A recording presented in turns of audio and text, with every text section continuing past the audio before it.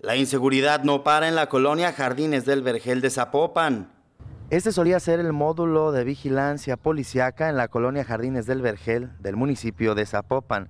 Anteriormente aquí estaban los guardianes del orden, la policía zapopana, quienes traían la tranquilidad suficiente a los vecinos para que pudiesen vivir en armonía. Hoy sirve de punto de reunión para jóvenes pandilleros quienes han robado la tranquilidad a las personas.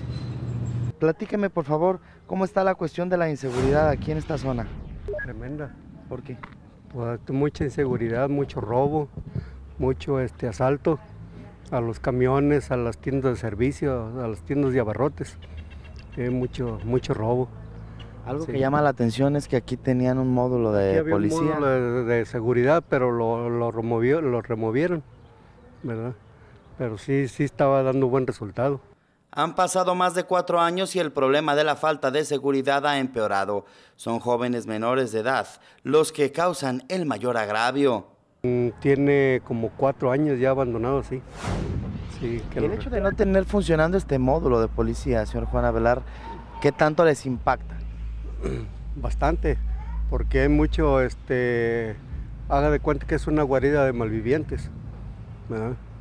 Sí. Aquí el principal problema lo viven por las pandillas, son eh, asaltantes que llegan en moto, caminando, ¿cómo es esto? De todo, de todo hay, hay este, pandillas que se juntan aquí mismo, hay gente que viene a robar de otro lado, pero sí es mucha inseguridad. ¿Dónde se juntan? ¿Aquí en el módulo? Mm, pegado al módulo o en las calles aledañas. Sí. Por favor, su mensaje al presidente municipal. Pues que nos ayude, que nos ayude, que nos mande más vigilancia, ¿verdad? Porque hay mucha inseguridad aquí. Los vecinos incluso tienen un toque de queda. Al caer el sol, ya no hay quien quiera salir a las calles. Oscureciendo ya, empezando a oscurecer. Sí, también a pleno día. Y Yo tengo una tiendita de abarrotes y dos veces me han asaltado. ¿A mano armada, señor? Ah, hermano armada, sí. Así es. Lo bueno es que no pasó Sí, nada. no pasa nada. Nomás se llevan lo que tenemos y ya nos dejan en paz. Oiga, ¿qué tan seguido pasa la patrulla por esta zona? Mm, Seguido pasa, pero nomás pasa.